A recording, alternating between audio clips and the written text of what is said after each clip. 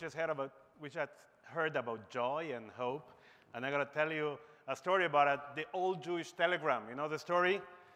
You know, there's the Jewish telegram back in the old days when they didn't have text or WhatsApp that says, start worrying, letter to follow. So it doesn't go well with my sunny personality to be a prophet of doom, but I have to admit that I am worried. Uh, more precisely, I'm, I'm actually torn between how much to worry, how, what is the level of worry that is the right one. Now, as we look at the problems that the Jewish people and Israel face today, we may take a page from Ari Wallach's book and look at the long term. We will see that for Jews, or at least for Jewish states, the number 75 has been historically catastrophic. In fact, the two Jewish previous experiences in statehood collapsed after a mere 75 years. In our first state, 3,000 years ago, David and Solomon had a united kingdom. They could hold it together for 75 years. After that, the kingdom split and decadence ensued. A few hundred years after that, the Hasmoneans established a kingdom after the story of Hanukkah, the Maccabee revolt. Also, lasted for 75 years, then it collapsed in civil war, and the Romans occupied the country. In both cases, the country was strong and prosperous, and in fact, it was at the peak of its power. And in both cases, the collapse was triggered by internal conflict. You obviously know where I'm going with this. Israel is now at 75. On the one hand, it's at its peak of its military and economic power. Its achievements fill us with joy and with pride, and yet, the threat of dissolution and civil strife is felt more keenly than ever. I know that history doesn't repeat itself, and I know that Israel is a strong and resilient country, but when the president of the state calls this the biggest crisis in the history of the country and repeats over and over that he fears a civil war, we must pay attention. Maybe worrying now can save us from lamenting later. Maybe being a little catastrophist is the way to avoid real catastrophe in the future. So can, how can history serve us as a cautionary tale? Can we make sure that third time's a charm and this time we get statehood right? And what can we do as funders and leaders. We'll get to that in a moment, but first, to understand the problem that we and Israel face today, we need to go back to the sources, to the father of modern Zionism. Theodor Herzl not only prophesied the creation of the state, but he foresaw the double challenge that Israel and the Jewish people are facing today. He wrote two seminal books that were supposed to be both intention and complementary to each other. His first book, The Jewish State, Der Judenstaat, was all about anti Semitism and how to respond to it. He wrote, We have tried to integrate to the countries in which we live, seeking only to preserve our faith. They didn't let us. In vain, we are loyal patriots, sometimes super loyal, in vain, we made enormous sacrifice of life and property for our country. In vain, we strive to enhance the fame of our native lands in the arts and science, in commerce and trade, and yet we are still decried as aliens. And then he proposes his solution. I consider the Jewish question, he says, to be a national question. The land of Israel is our historic homeland. The Jews who will it shall achieve their state and we shall, we shall live at last as free men in our own soil. Jews, continued Herzl, must depend on themselves and not in the whimsical mercy of others. In other words, for Herzl, the only solution to anti Semitism for Jews to survive, we need to have an, our own state in our own homeland, and that state needs to be strong and powerful so as to defend itself and make sure that Jews are safe everywhere in the world. But a few years later, Herzl wrote a second book, Alt Neuland, Old New Land. Curiously, in that book, there is no mention of anti Semitism at all. The book deals exclusively with the character of the state. As Herzl was prophetic about the creation of the state and the tragedy if it's not created, he also foresaw the conflict that Israel is having today. In a key part of the book, there is a confrontation between Rabbi Geyer, a man who's running for office who wants to deprive Arabs of civil rights and convert Israel into a theocratic dictatorship, and Dr. Marcus, what we will call today a liberal Democrat, who wants to keep Israel enlightened, humanist, and democratic. Herzl fears that if Geyer gets to implement his program, the Jewish state, as he imagined it, will be in grave danger. He understood that the Jewish state can't be just any state, that is very survival dependent on its character and its values. He knew that the state will require enormous sacrifices, and those sacrifices will only be borne by a people that has full freedom and can be fully proud of what it's building. Herzl and successive leaders like Ben Gurion and Begin understood that democracy wasn't a mere add-on to the Jewish state, but a condition for its very existence. Now, the question is not who is Geyer and who is Marcus in the current debate. That is up to you to decide. The point is that there is a clash about the nature and the character of the country, a clash that could, God forbid, turn violent.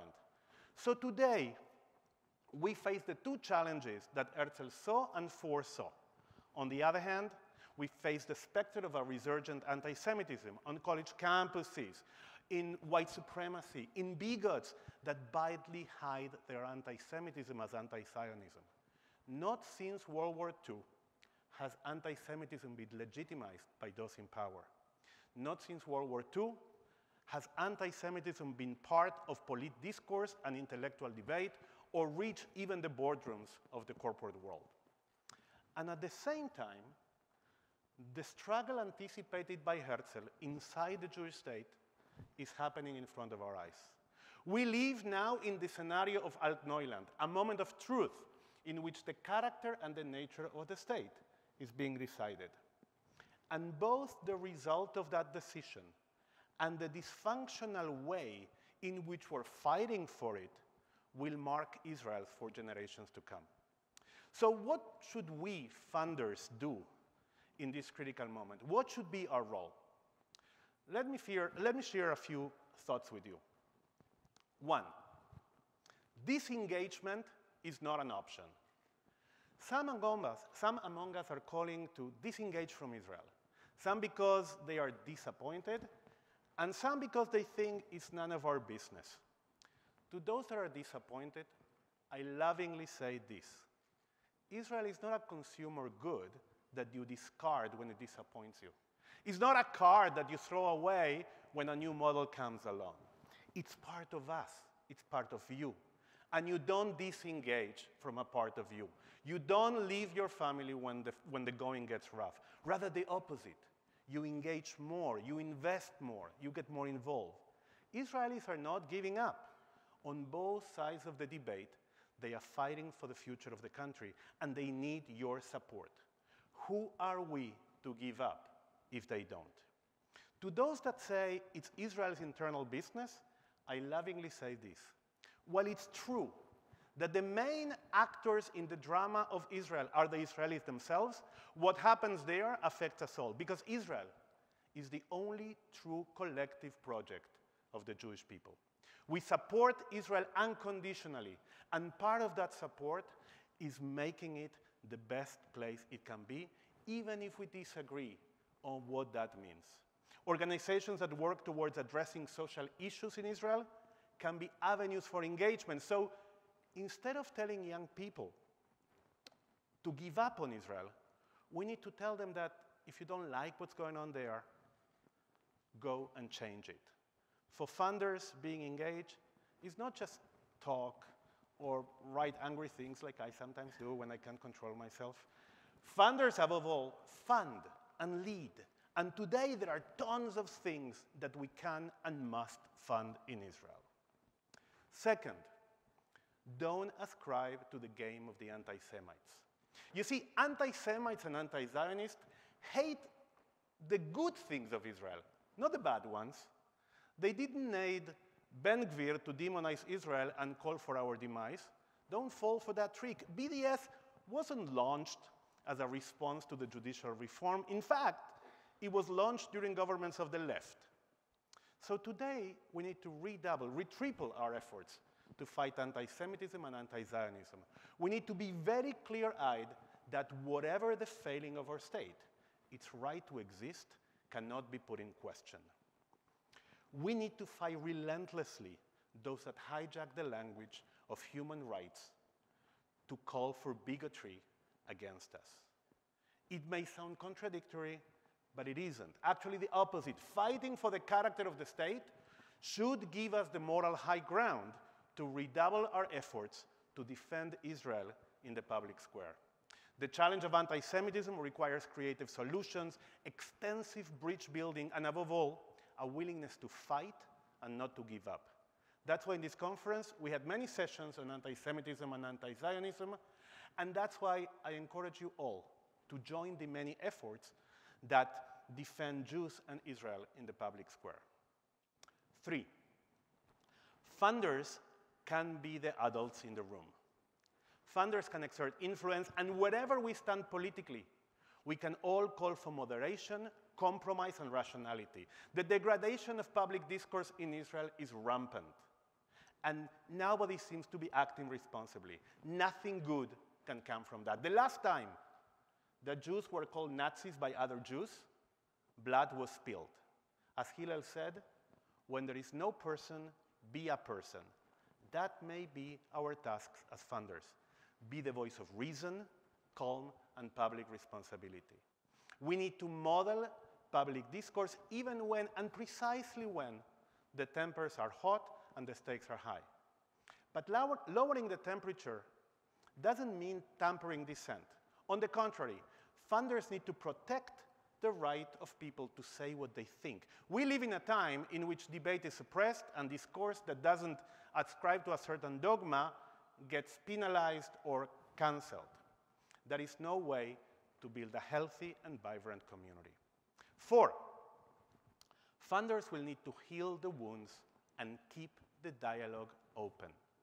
I always say that today the main difference in the Jewish people is not right and left, secular and religious, but between those that accept the diversity and plurality of the Jewish people and those that don't.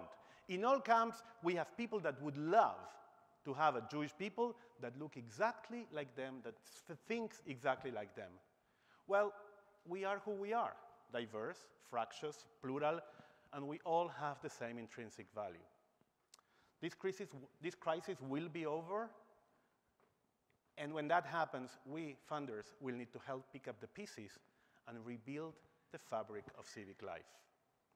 While many of our members have strong opinions about the current situation, JFN Israel has brought together people of different persuasions to continue the dialogue, to find ways to disagree civilly, lovingly, and respectfully, to try with empathy to understand the point of view of the other. We obviously can't count on politicians to do it. Many JFN funders know that funding coexistence and dialogue is not kumbaya, but using our philanthropic power to help people tackle the very real and hard challenges of living together in a shared society. And five, when the meaning of Judaism and Zionism is debated internally and vilified externally, we need to give our community, and especially our young, the knowledge and the tools to be part of the conversation. For that, we need to invest much more in Jewish and Zionist education. We can't let our young learn Zionism by listening to the toxic and polarized debates of today. We can't let Jews learn what Judaism means from anti Semites. We can't let college students learn about Zionism from BDS. And we can't allow extremists on the left and the right to sell us on a twisted version of Judaism that suits their political agendas. We can't give extremists and anti Semites the right to define Judaism and Zionism for us. How many in the American Jewish community read the books that I mentioned before? How many know of the works of Rav Kook or Jabotinsky or Borokhov? And because the brain abhors a vacuum, when we don't know our own history, we end up absorbing the biases of others. We can't allow what Herzl feared the most. By absorbing the disdain of others he feared, we'll end up despising ourselves. These are just five general directions I suggest. And I'm sure you can think of others. This is, after all, a room full of people that imagine the impossible and make it happen. You are the dreamers, the doers, and you are philanthropists, as Marcia said yesterday, because you believe that change is possible, that the future doesn't necessarily need to be like the past. So, my main message today is this We are the blessed generation, the one that could see the miracle of Israel reborn. Because we got that incomprehensible blessing, it's incumbent upon us to help prove history wrong, to defy the odds, to make third times a charm, and make sure that 75 becomes our lucky number.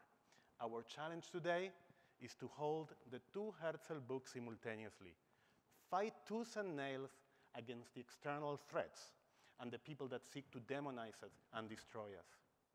And on the other hand, conduct the necessary debate about the nature of our, natural of our national renaissance.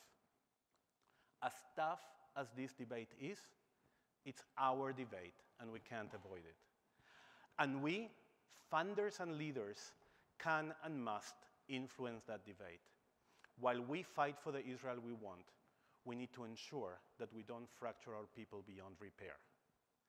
Herzl II book, The Jewish and the Democratic Dimensions of Our National Projects, are reflected in the document that gave birth to Israel. From our foundation, we knew the double challenge that we had. So we engraved it in the birth certificate of our, of our nation, the Declaration of Independence. For me, this document is highly personal. Growing up, I had it affixed to my wall above my bed, and I read it every night as a secular prayer for the place that was the center of my yearnings. So much that to this very day, I know the text by heart. You can see that's my childhood room there. A very Zionist kid I was. Now, it's a sign of the craziness of our time that now many consider these words to be subversive, and others consider them colonialist. But for me, they are the most beautiful words ever written by a human hand, for they crystallize the highest aspiration and the inalienable rights of our people. And because they aren't any words that I can come up with that will be more powerful and more beautiful than this, I will finish my remarks with them.